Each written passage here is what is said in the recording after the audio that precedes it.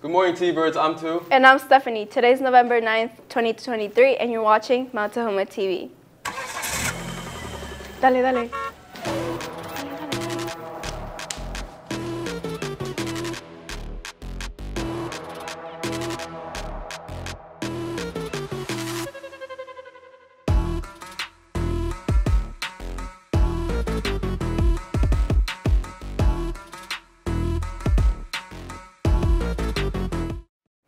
If you're wanting to ride the student bus to Ferndale to support our football team, those tickets must be purchased today in office at lunch or after school. They are $20 with ASB and 23 without ASB, which pays for both the bus ride and your ticket into the game. There is no school tomorrow due to Saturday being Veterans Day. Tou and I had the chance to talk to some of the veterans that work here at Mount Tahoma and learn about their service. Let's check it out. Today I'm here with Mr. Gerbershak. Major Jeff Holmes. Mr. Juma. Commander Richardson. Leon Hatch. What do you remember the most about the day that you enlisted? Uh, so my mom had to sign for me, so it was pretty crazy because I was only 17 years old. I was pretty nervous because that was my first time that I would be more than, be away from home for more than a week. Um, I really wanted to be in aviation, and I wasn't taking no for an answer, so I had to spend all day at the recruitment office until they gave me what I wanted. How old were you when you enlisted? I was 21. I I was 18 years old. Listed when I was 17, and then I was 18 when I reported to basic training. What is the difference between uh, Veterans Day and um, Memorial Day? So the difference is Veterans Day is like to honor the people that are still alive, and Memorial Day is to honor the people that have passed. What do you learn the most out of your time in the military? Really how much sacrifice is really going on out there in the world, um, around the world from our, our service members in every one of the branches, and the duty of care they have for one another in the, in the military, but also uh, duty of care for one another and people that they don't even know, people who are here and, and they're working to keep safe. So the whole thing is, uh, I think, um, really amazing, actually, and I've always been really proud to be part of it. Just uh, working as a team, uh, being a, a part of something bigger than you, um, and just uh, having an opportunity to serve to make things better for others. For me, it was that your mind will quit long before your body does. In other words, you could you could not realize you could walk 12 mile marches until you're all of a sudden going, "Wow, I, I did that." Why do you think uh, Veterans Day is like really important?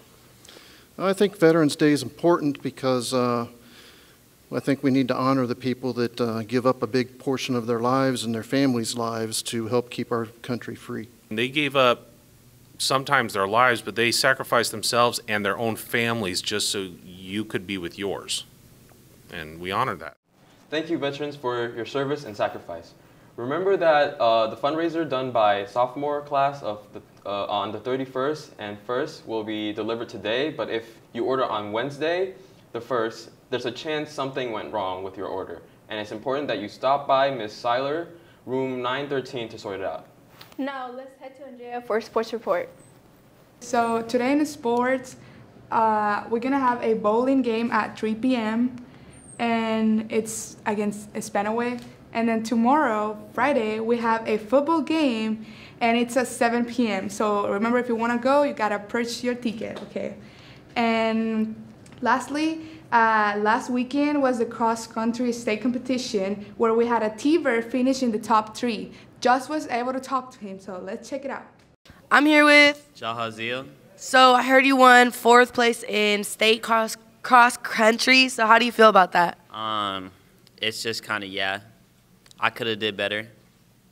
Nice. How, so how did you prepare for that?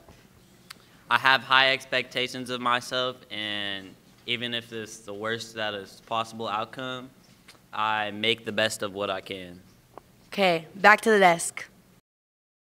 Thanks, Joss and Jazil. It's Thursday, which means that it's an it's uh, as an anchor. So today's question would be, um, what sport has the best athlete? In my opinion, it's soccer for Isn't sure. soccer? Yeah.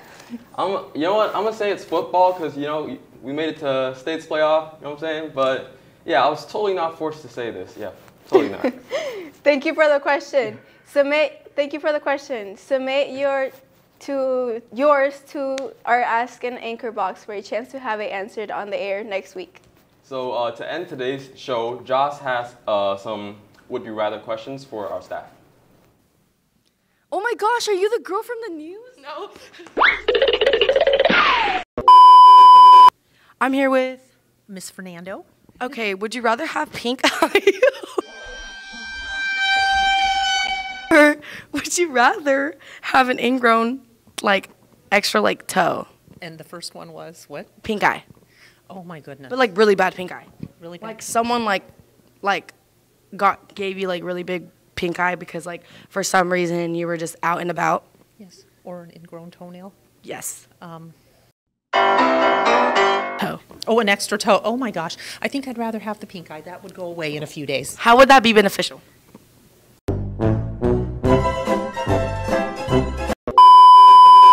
I'm here with. Mr. Case. Okay, so we have a would you rather question. Oh. Would you rather have your newborn puppy get taken by a, a eagle or have your cat ran over? I don't have a cat, so take my dog. It's peeing on the floor all the time. It's gonna ruin my floors. I didn't even want this puppy.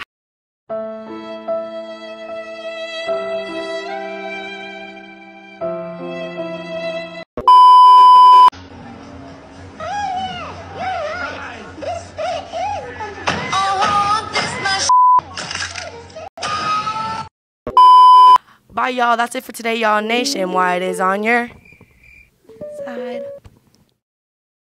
Today's news. Thank you guys for watching. I'm Tou. And I'm Stephanie. Subscribe to us on YouTube to never miss a story. Once a T-Bird, always a T-Bird. Have, a great day.